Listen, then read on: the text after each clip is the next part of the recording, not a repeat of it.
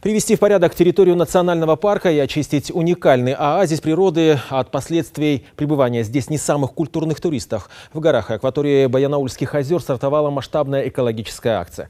Последний раз аквалангисты чистили местные водоемы почти 30 лет назад. Возобновить давнюю традицию удалось в рамках программы «Туганжер», для чего в Прииртышье создали первый в стране подводный отряд «Зеленого патруля».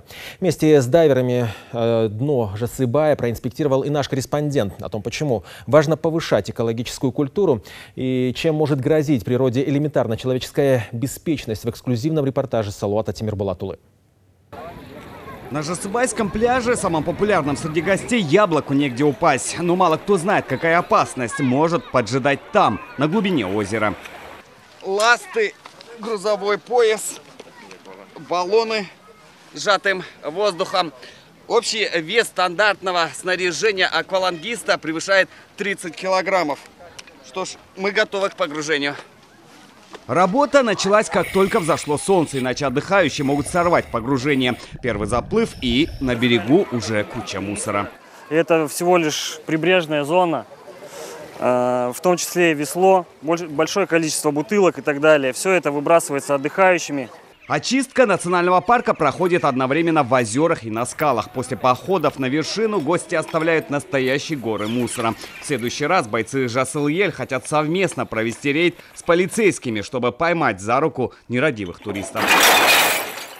Меня возмущает то, что взрослые люди приходят и пьют свои алкогольные напитки в горах и разбивают бутылки. Я вот не понимаю, это у них традиция такая или я не знаю. С гор бойцы уже спустили больше 10 мешков мусора, а вот находки из озера продолжают удивлять. С огромной глубины, потратив почти весь запас кислорода, дайверы подняли чугунную батарею.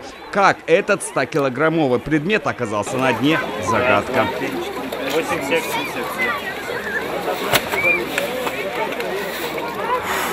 Я считаю, что надо поднимать регулярно, надо поставить это на систематической основе. За проволоку может уцепиться какой-то неосторожный ныряльщик, много стекла битого. Собирать его надо не только в месте, где сейчас скопление народа, надо тщательно обследовать всю береговую зону.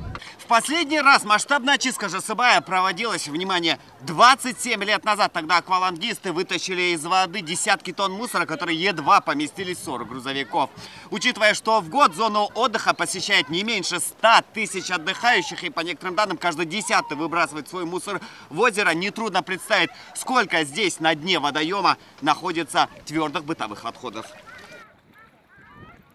Работу по очистке озер жасылеловцы только начали. Вскоре по программе «Туганжер» стартует второй тур. Единственная проблема – нехватка людей и современного снаряжения. Но местные власти уже пообещали подводному отряду «Зеленого патруля» оказывать всяческую помощь.